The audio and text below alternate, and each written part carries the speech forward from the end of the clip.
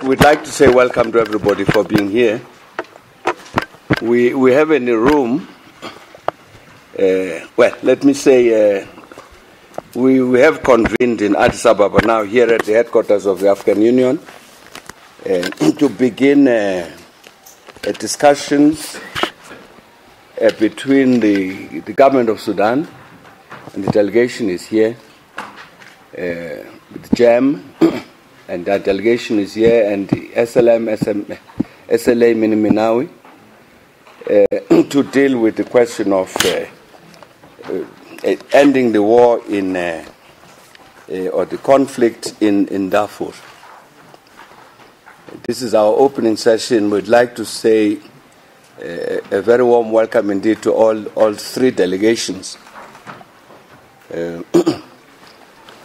We are, of course, we are the panel of the AU dealing with uh, Sudan and South Sudan, but uh, in this instance, we are working together with uh, the special representative of the Secretary General of the UN, uh, Haile Menkarios, um, with uh, Ambassador Lisan Yohannes, who's uh, representing IGAD.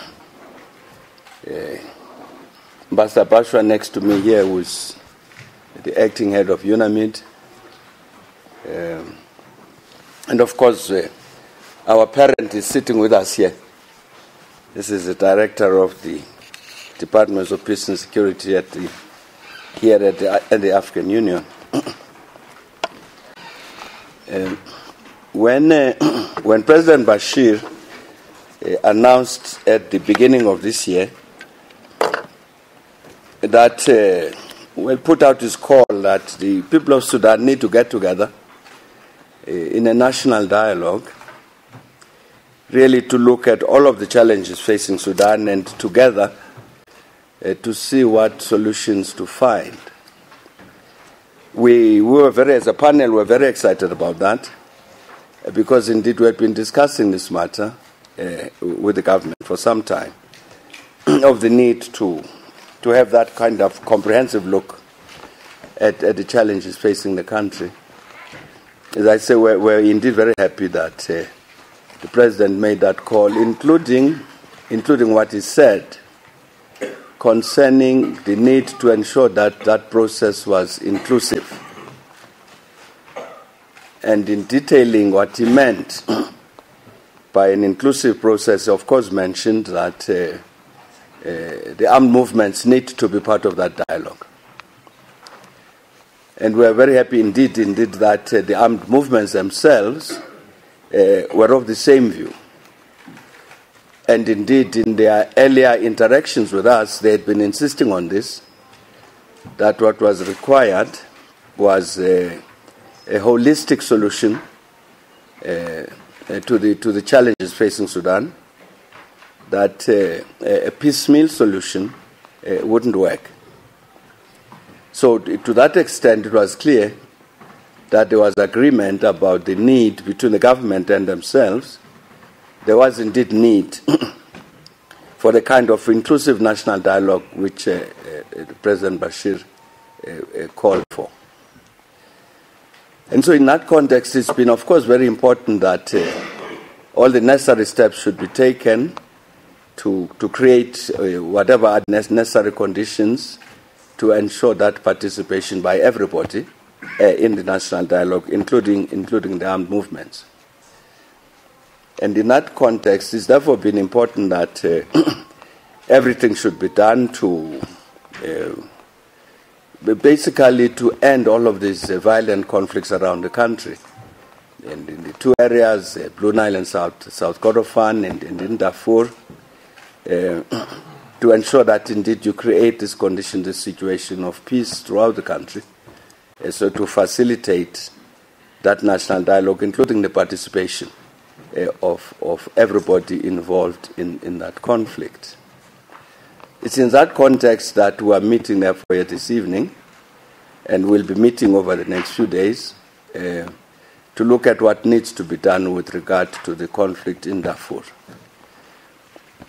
I, I think everybody is familiar here with what uh, the government of Sudan and the SPLM North have been doing uh, in an interaction that they've had for some time, which is continuing, um, again to address the matter of the conflict uh, in, in the two areas, with a view that uh, both these processes of uh, ending the conflict, the conflicts in the two areas and in, in, in Darfur, that those conflicts must proceed forward as uh, really one process, but in two streams, uh, in two tracks.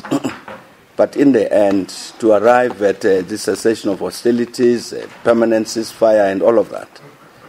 But I'm saying fundamentally, really, to make sure certainly that the conflict ends, because clearly it's imposed very heavy burdens on the people directly involved, but also on the population of Sudan generally. And there, can, there can't be anybody, I would imagine, in Sudan who would benefit from the continuation of, of these conflicts, and therefore, really, they do need to end.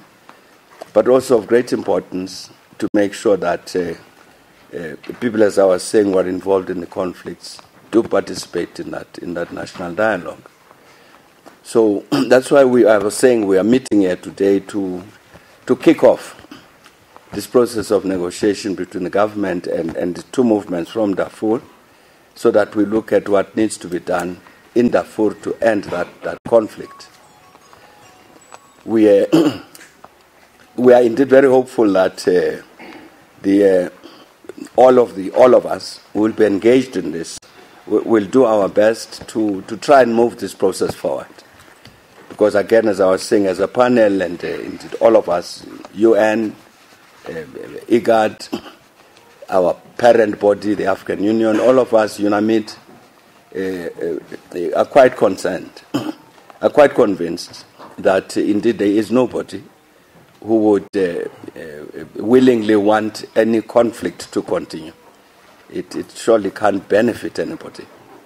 Uh, plus, the, this, this opportunity that is now being opened up in Sudan is, very, is clearly very important for the future of the country. But it's, it's, it's, I must say this also that it's important also for the region and the continent.